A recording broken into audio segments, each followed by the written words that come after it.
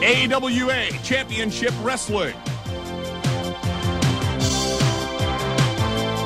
The AWA presents the greatest stars in professional wrestling, bringing you the best in mat action.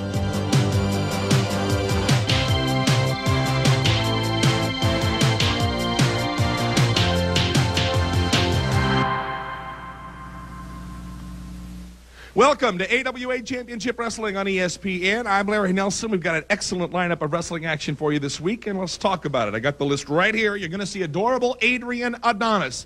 Big guy, somehow connected with Ace Orton, or at least that's what we believe. The Ace is on hand this week also. You'll see him, Greg Gagne, and a tag team battle that I'm really looking forward to. Wahoo McDaniel, with all that experience, teaming up with Tom Zenk who is one of the bright young stars of professional wrestling today. They're going in against a couple of kids that are rough and tough. They've got the size and a very arrogant attitude. They are called the Nasty Boys, and that one should really shine on the program today. A lady named Linda Newhouser sent me a letter from England. She's our fan of the week. Let's go to the action.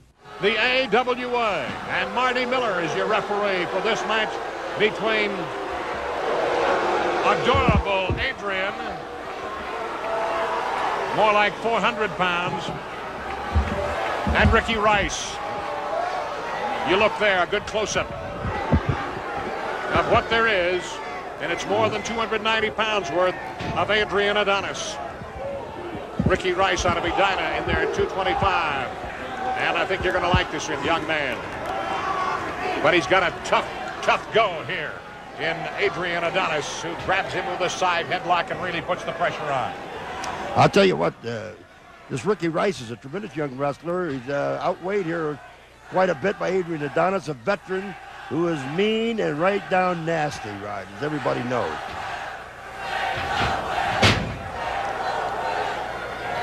You see in the lower right-hand portion of your screen, Ace Bob Orton, manager, second. Exactly what his capacity is, I don't know.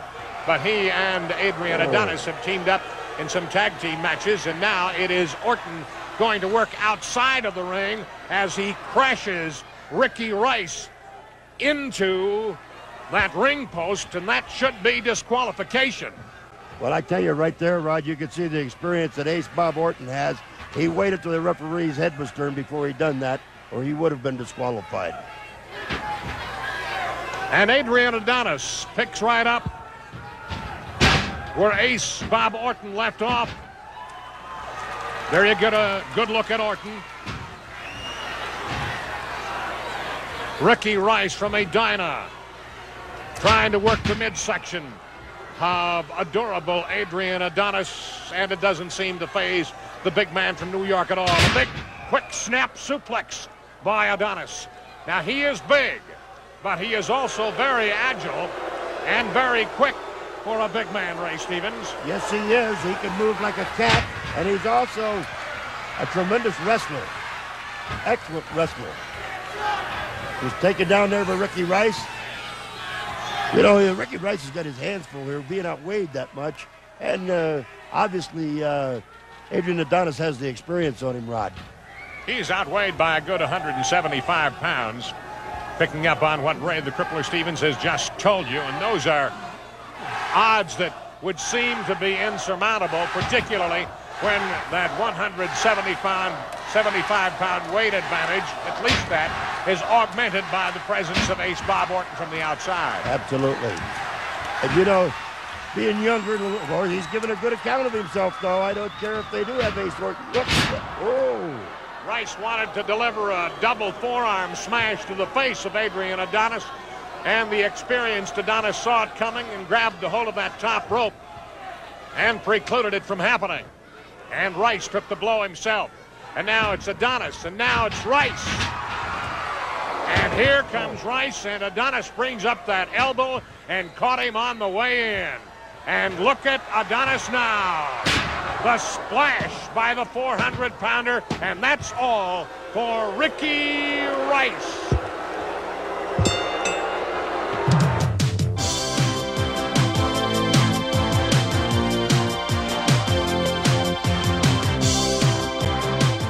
To present a very special segment this week on AWA Championship Wrestling. And the key phrase is championships. We're going to take a look at all the title changes that we have had, and there have been many. There have been several, and there has been controversy surrounding each and every one of them. We need to start with the king of them all, and of course, that is Curt Hennig. Now, you know and I know that Curt Hennig won the world championship under very, very suspicious means. But that doesn't matter. He's got the title. He has defended it all over the world, and he has managed to keep the world championship. You've got to give Curt Hennig his due. He is the top dog, and Curt Hennig plans on staying that way. The ladies' title up in the air, so we decided to hold a tournament. What more fair way than to hold a tournament, give everybody a chance at winning the ladies' championship? A lot of contestants. You saw Bambi, Peggy Sue Leather, it came down to the former world champion, Candi DeVine, and a relative newcomer who is talented and who is mean, and her name is Medusa Miceli. Those two rose to the top in the tournament, and they battled it out for the crown. Medusa Miceli, relative newcomer, going against Candi DeVine, a lady who had once held the title.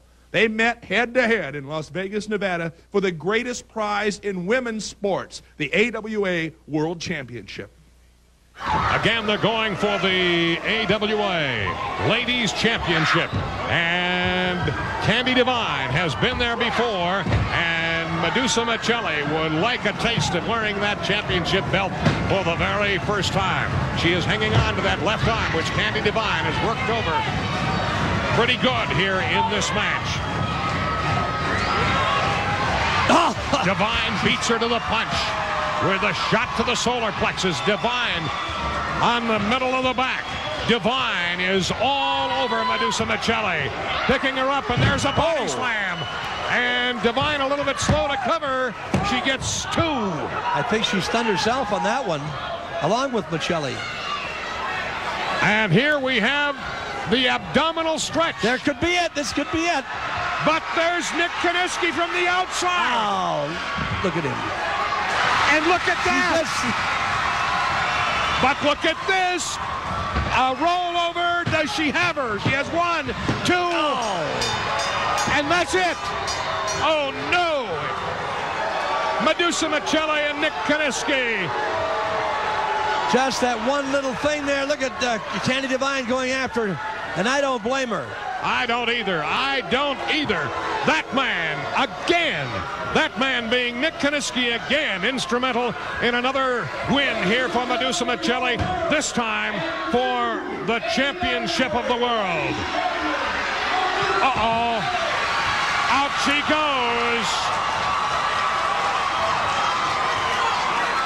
Candi DeVine very, very upset, and Verne Gagne, I think justifiably so, at the way this one came to an end and the interference that you and I both saw on the part of Nick Kiniski.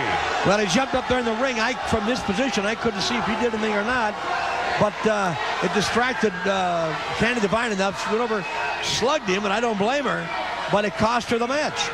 Controversial, yes, but Medusa Miceli wins the tournament. She is the ladies' world champion. We like to respond to the fans whenever we can. The fans wanted the AWA to crown an international television champion.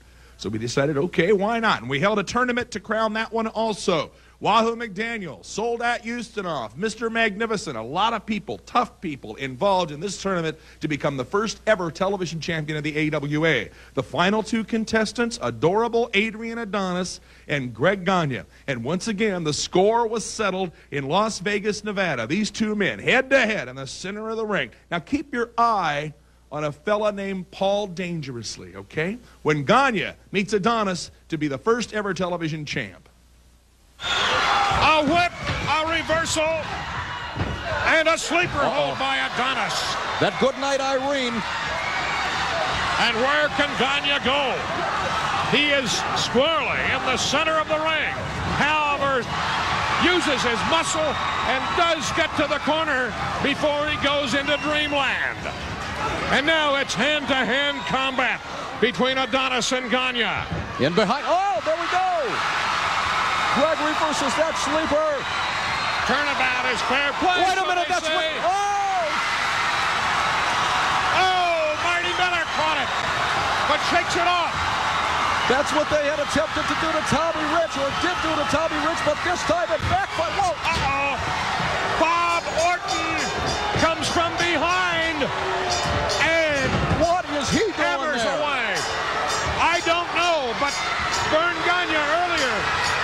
mentioned that he felt that there was some kind Wahoo. of an alliance Wahoo between, between Orton and Adrian Adonis as Wahoo McDaniel comes in to aid Greg Gagne, and it's Wahoo and Bob Orton. Gagne and Adonis poorly dangerously outside of the ring trying to get the powder off. And it is Adonis holding on to Wahoo McDaniel as the bell rings. This is Oh. totally out of control. It has broken loose. Oh, has it ever? Out comes Adonis. Gagne working on Orton, who now suddenly finds himself in the ring alone with both Wahoo McDaniel and Greg Gagne. On the outside, it's Orton and Adrian Adonis. There you see them. What a sight. What a sight. Ah. Well, she loved the damage that was being inflicted on those two, I'm sure. And we're going to be going up to the ring with Mick Karch here very, very shortly to get words from Greg Gagne on this television championship match. And here he is. has ruled that as a result of the interference by Cowboy Bob Orton, Adrian Adonis has been disqualified. Greg Gagne is the AWA television champion. Paulie dangerously tried to cause trouble in the match. Ace Orton did, and so Greg Gagne becomes the first ever international television champion of the AWA. Long may he reign. Greg Gagne, good guy, great wrestler. The tag team titles, a lot of problems there. Paul E. Dangerously again involved. His tag team, the original Midnight Express, winning those world championships in Whitewater, Wisconsin. But then they ran into the former champions of the world, a couple of buddies of mine, some guys who also take the word midnight and apply it to their name. And you know, and I know that we're talking about the Midnight Rockers. Let's go back and remember what happened when the Midnight Rockers met the Midnight Express. Marty Jannetty having to go it alone now as Shawn Michaels went it alone for sometimes small package. Small package and a count of two. Now Shawn Michaels is back on his feet and he comes after Rose. Jannetty has a front face lock on Dennis Condrey. The referee, Marty Miller, counting. And there may be a double disqualification here. And if that indeed is the case, well, the belts stay with the champions. But of course, Jannetty and Shawn Michaels know that very well. Snap suplex. Oh. Marty Miller, the referee, went down as he may have dislocated a knee or popped an ankle. He is absolutely in no way able to continue refereeing this match. He is on hands and knees. He really struggling to get to his feet. Comes over. He has the count going. And Wait a minute now. They're ringing the bell. Bob Warren has come in. Bob Warren has come in, and I don't know who has won the. Is it the Midnight Rockers? It is. That's the way it looks right now. All right. Total pandemonium. And so it was mayhem by midnight. And ladies and gentlemen, the Rockers came out over the Express, and they are the tag team champions of the world. I can't think, and I've gone back in my mind over many years of professional wrestling, I can't think of any tag team that has ever been more popular than the Midnight Rockers. Finally, we've got some tag team champions that we can indeed be proud of the Rockers. There's a guy named Greg Gagne that you saw earlier who's walking around with that international television championship, and we are going to see Greg in action right after this.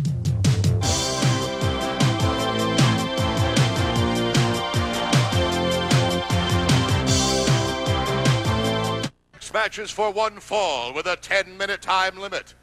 Introducing first from the island of Samoa. He weighs in at 290 pounds. Samoan Joe.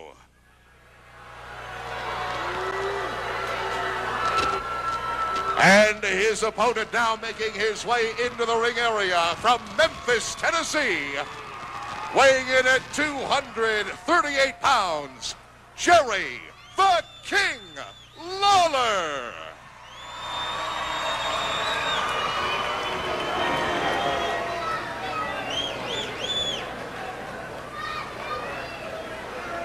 Ah, look at the attire worn by Jerry the King Lawler. 15 years in professional wrestling.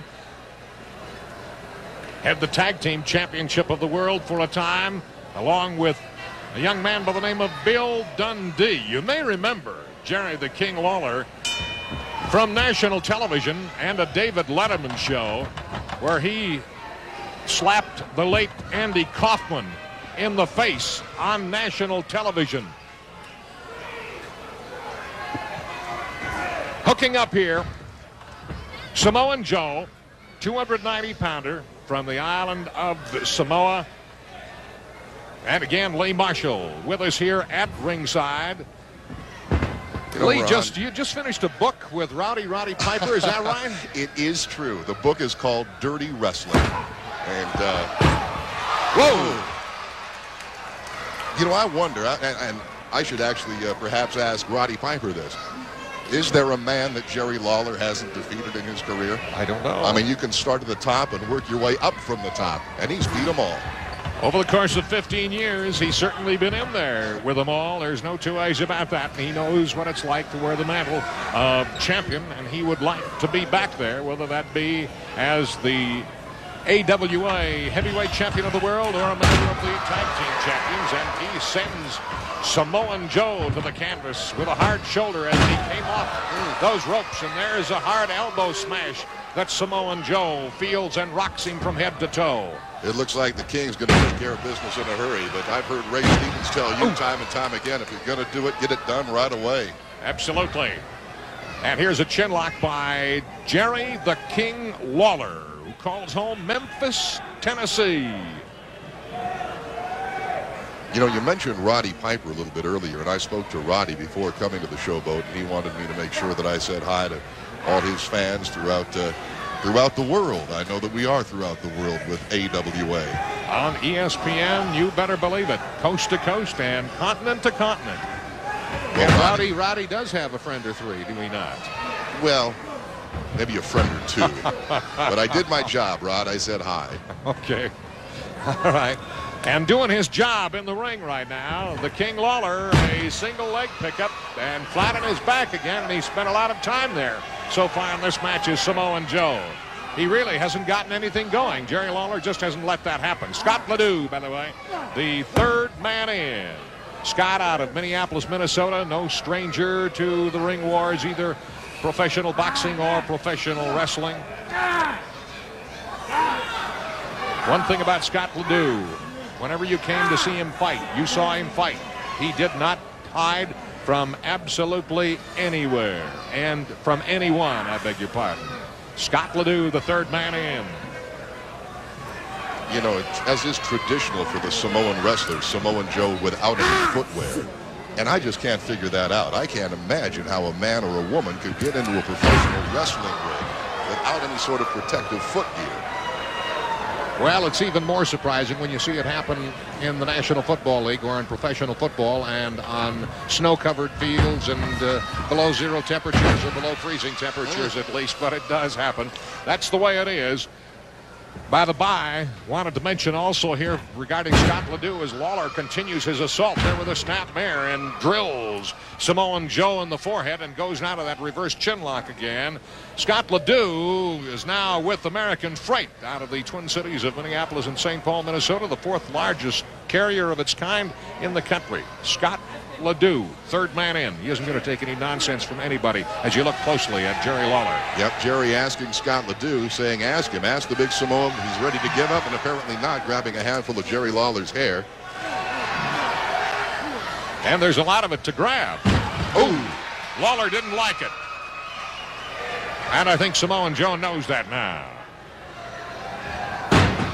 Off that top turnbuckle. The payback continues, Rod. Again, boom. Samoan Joe now taking a look at Lawler and not liking what's been happening and going on the attack himself as we reach the halfway mark of this one fall 10 minute time limit match and wow Samoan Joe working on on the King Lawler right now Big headbutt by Samoan Joe. Setting him up. What's he got? Another headbutt. And suddenly things have turned and turned quickly and all in the favor of oh. Samoan Joe but Lawler saw that one coming and got out of the way the King Now resuming his assault on Samoan Joe. On his feet. On his back, back on his feet again. And here is a body slam by Lawler. Goes to the ropes. And what does he have in store? Here he comes. Oh, oh. crunch time. You can count to 100. Lights out. Good night time for Samoan Joe as Jerry the King Lawler, who dominated this match with the exception of about 30 seconds, took what Samoan Joe had to offer and said, hey, it's time to put this guy away. And put him away, he did. Hey, here it comes again. You'll watch Jerry Lawler up on the top rope with that fist clenched. Here he comes, the King, winding up. Boom! Right into the head of Samoan Joe. Here comes the cover by the King. Scott Ledoux goes down for the count. One, two, three. Jerry Lawler with the pin over Samoan Joe and another W in the proud column of wins that Jerry the King Lawler has managed to assemble over that glorious career. Lee Marshall. I'm Rod Trongard, and we're at the Showboat Sports Pavilion. We'll be right back. If your favorite self He wears that belt very, very proudly, ladies and gentlemen. He won the International Television Championship over Adrian Adonis in Las Vegas, Nevada, at the Showboat Sports Pavilion. And right now, he is in with a young man out of Cumberland, Wisconsin. Outweighs him a bit, but of course, Greg Gagne has the experience over Olson in spades, and you just saw it go to work there. Greg Gagne is actually a veteran uh, in this ring, uh, won many, many championships, and really knows his way around. He's in great condition, always stays in great condition, and gives a good account of himself with anybody in professional wrestling. Want to say a special thank you to Hank Beekler and his crew from KXMC Television here in Minot, North Dakota for their cooperation in this telecast, which is now showing Greg Gagne with an arm drag takedown on Daryl Olson, and now into an armbar with Gary DeRusha, your referee. You know, it's amazing that some of these guys. Now, Greg Gagne is a tremendous defensive wrestler as well as an offensive wrestler. He's dangerous no matter what position you have him in. Greg Gagne, an outstanding all-around athlete, excellent, excellent football player, excellent golfer.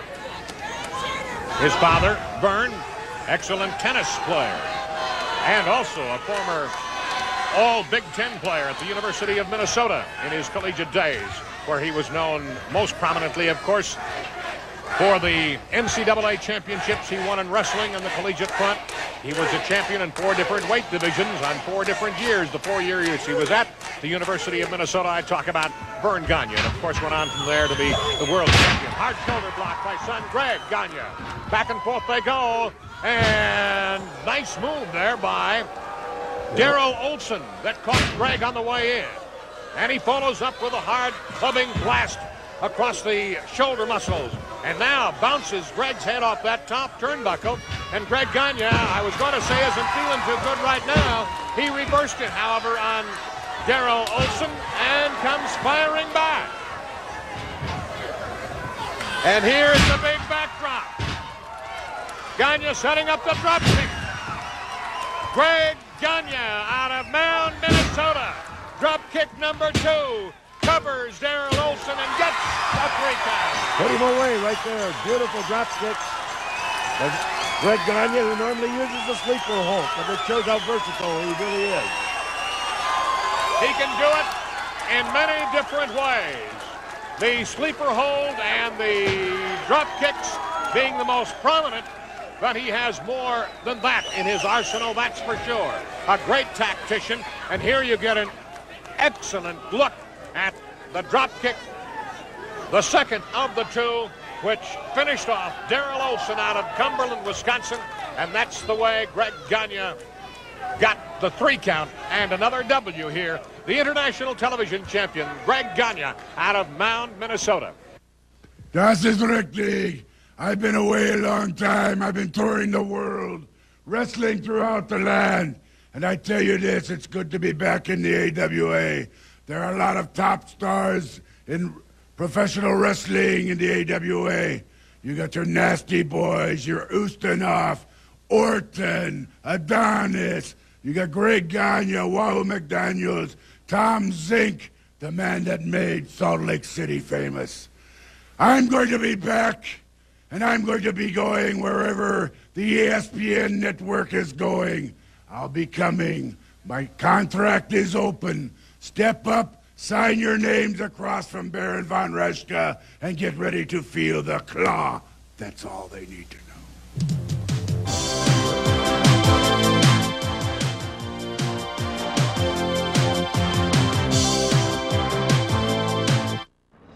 Look closely at history. One of the roughest, one of the toughest, one of the meanest, and one of the most disliked wrestlers, professional wrestlers in the world today.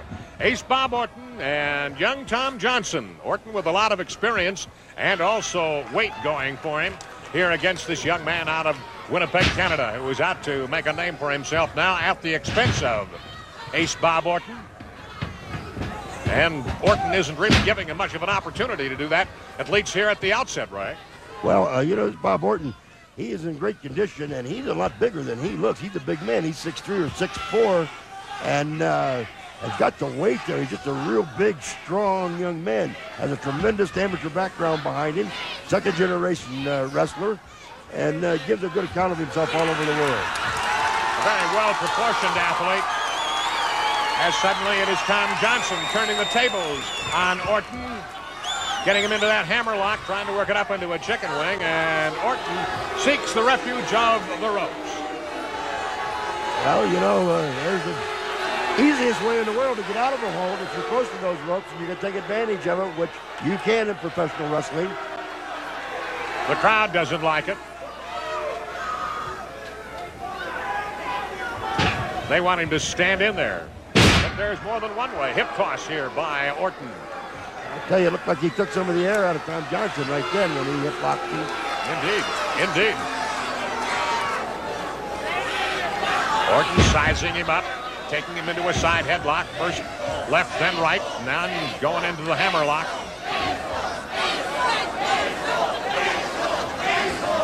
Excellent close-up camera work here. Our camera crew from remote possibilities of Fargo, North Dakota. This young Tom Johnson's a very strong-looking young man. Oh, nothing. You can see the power there that Orton had. Oh, right on his neck over the top rope.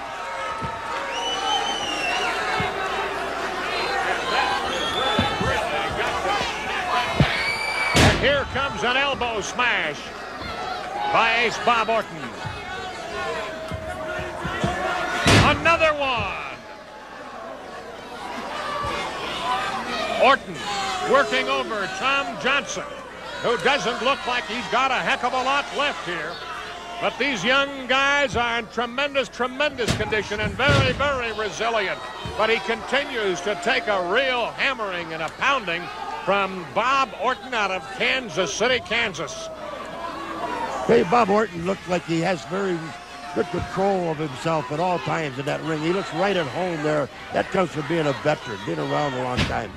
In control right at home, both physically and mentally. And indeed, yes, the trademarks of the experienced wrestler as he tries to drive the head of Tom Johnson face first right through that canvas. He has Johnson going, picks him up,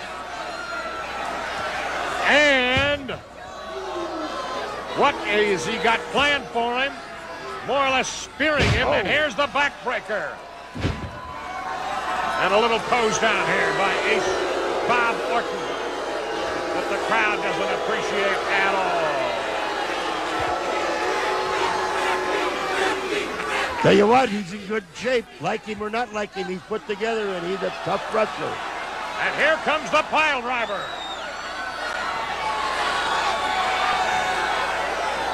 Wow.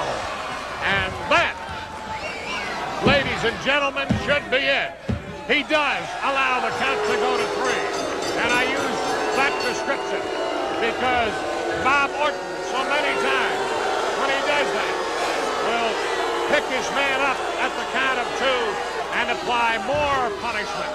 However, mercifully, he put Tom Johnson away, and now he, of course, has to have referee Marty Miller raise his hand in victory, and the crowd, well, I guess it's, well, no, it isn't six of one and half a dozen of the other, as Orton needs security, a security escort, as he goes on back to the locker room.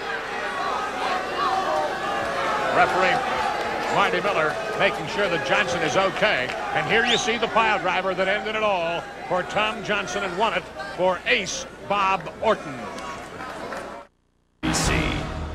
Ladies and gentlemen, you just saw a very tough, young, determined tag team. They're called Bad Company.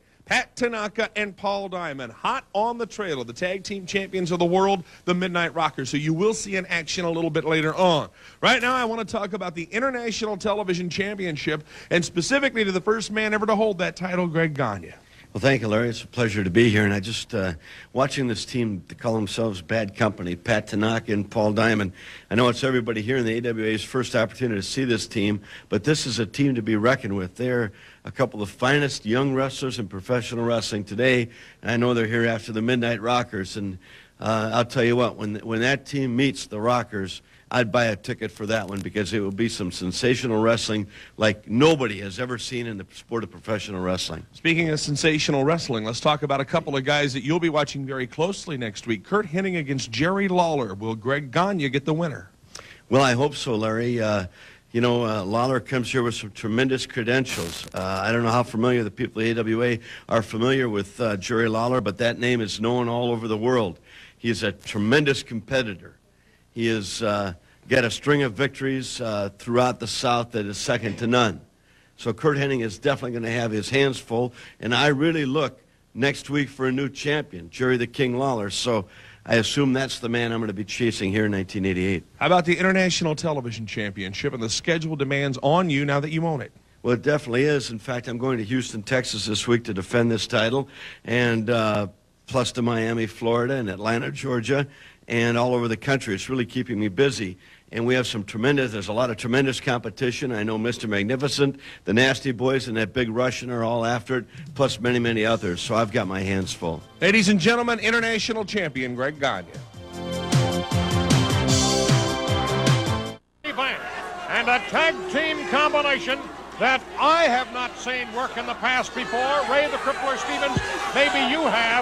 The combination I speak of is Wahoo McDaniel and Tom Zenk. No, I've never seen them uh, wrestle as a tag team before, so it ought to be very, very interesting. The Nasty Boys are an accomplished team. They, they work excellent together. So, uh, but they're going to have their work cut out for them with Tom Zenk and Wahoo McDaniels, I'll guarantee you. Former AWA South tag team champions of the world. I talk about Knobbs and Sag in there at a combined weight of 568 pounds. Knobbs is the blonde. Sags has the dark hair. And it will be Tom Zenk starting out for the combination of Zenk and McDaniel. And it will be Sags going for the Nasty Boys. Tom Zenk, nothing short of sensational in his return to the AWA. Kaganovich, a big, strong guy there, pushed Tom Zenk away like he was a piece of paper.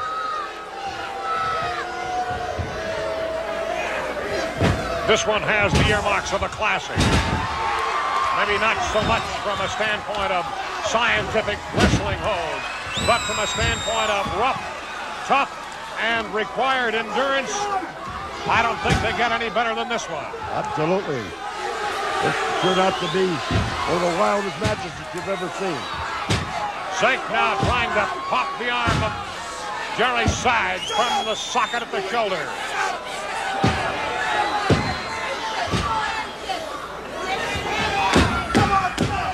Applying a lot of pressure with that arm stretch there. And he's a big, strong guy. I'd hate to have him pulling on my arm like that, Rod. Well, you've had them do it. You know what it feels like. Here's a tag, and here is Wahoo McDaniel. Pops a shot.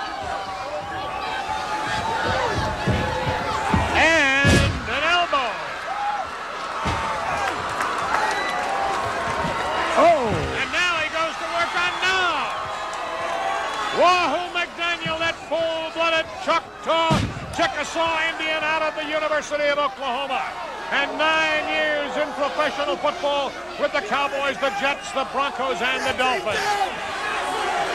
Referee Gary DeRusha may be forcing him to break the hold or what? Well, here is a quick tag as Wahoo McDaniel tags in Tom Zenk. DeRusha did not see it, I do not believe. Well, actually, they didn't tag there, Rod, but they're working very well as a team so far. They just switched. Why tag when the referee isn't looking? If you're going to do it, you better be able to get away with it. And get away with it they did. And it is Jerry Sag who's feeling the pressure, the pain, and the punishment of Tom Zenk.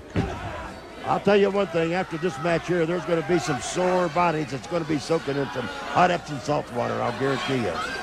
I've seen that man walking through airports across the country the day after matches, and you know that he has been in a tough match the night before. Tomahawk there by Wahoo. He gives it all he's got every time. Wahoo McDaniel. He holds nothing back. And that's the only way to go. He's tough and he's mean. He's been around. He knows how to dish it out, and he can take it. Doing the dishing right now. And Sag is doing the taking. Oh!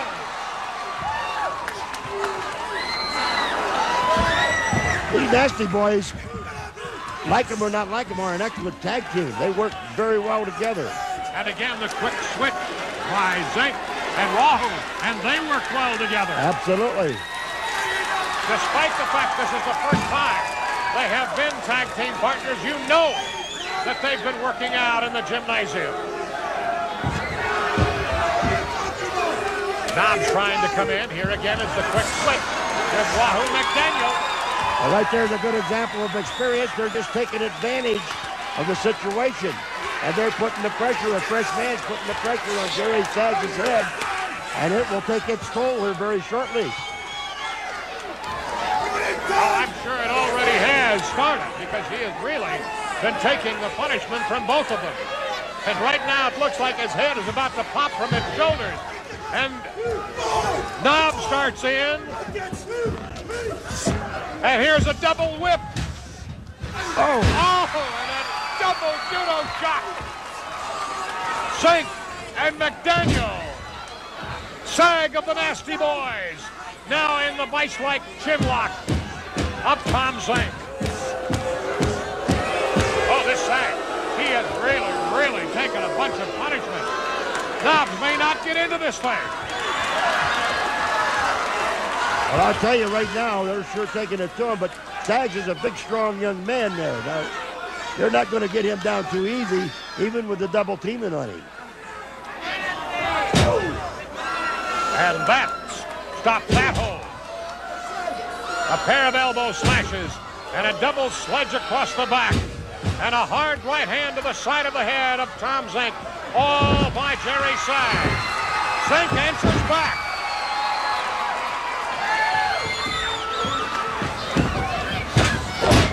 Here comes Tommy. Oh!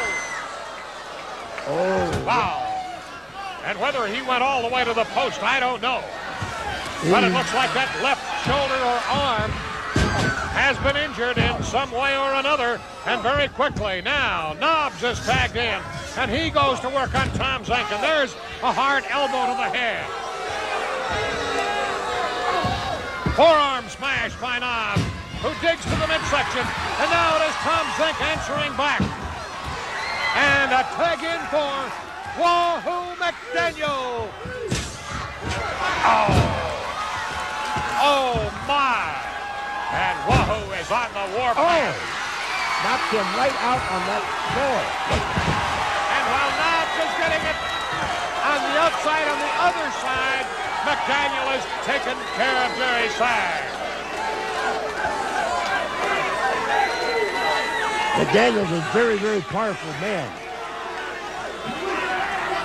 There was a song once upon a time, and it, I'm sure is still played at times across the country. You don't mess around with Jim. Well, hey, you don't mess around with Zenk, and you sure don't mess around with Wahoo McDaniel.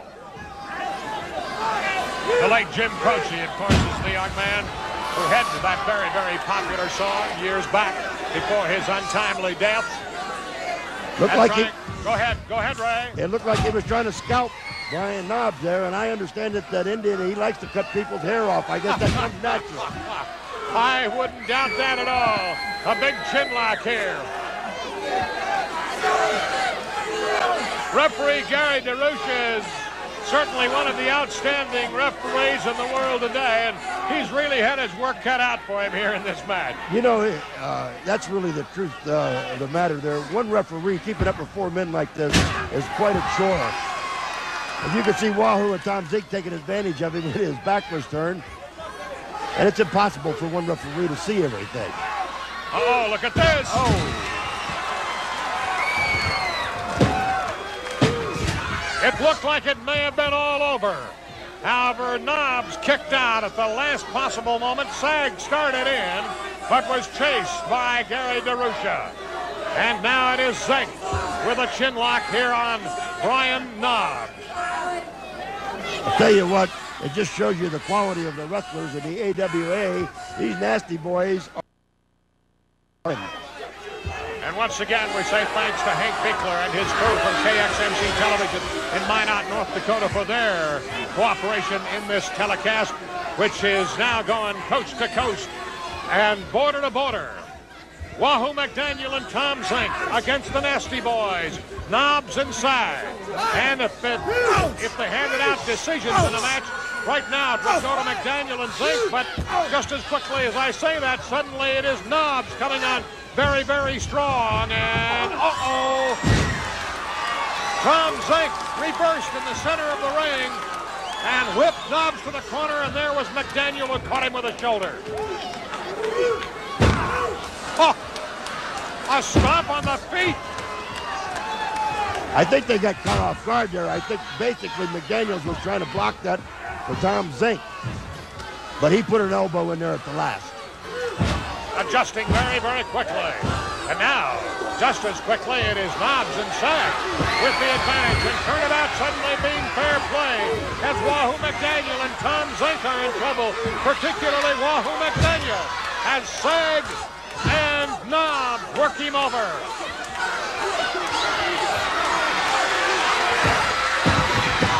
I'll tell you what, they're choking it. Putting it on Wahoo right now. I told you these nasty boys are two tough young men.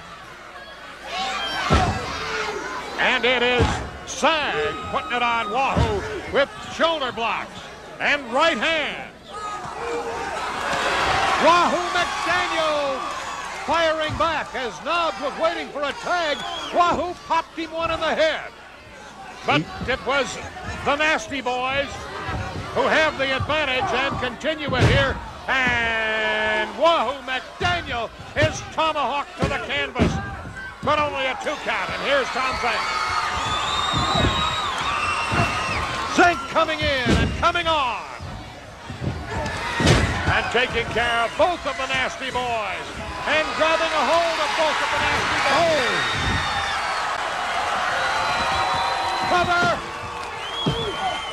He would have had three, except that Sag interfered, and now you've got all four of them inside. And referee Gary DeRusha is in the count. This may be out of control. He has stopped the count. He starts it again. And up and over goes Zenk. You know what? They actually can be a legal man in the ring right then. I was Brian Knobbs, Brian Knobbs was the legal man in the ring. They pinned, I don't know it was very confusing, but they pinned the wrong man. I sure was caught up in the confusion of it all, and I didn't know who was supposed to be in there and who wasn't supposed to. But as it ends up, Tom Zenk pins Knobbs, and the victory goes the protest, as you see it there, of the Nasty Boys. Ladies and gentlemen, the wrestling action this week coming from Minot, North Dakota, the AWA with the mayhem of the Great Plains.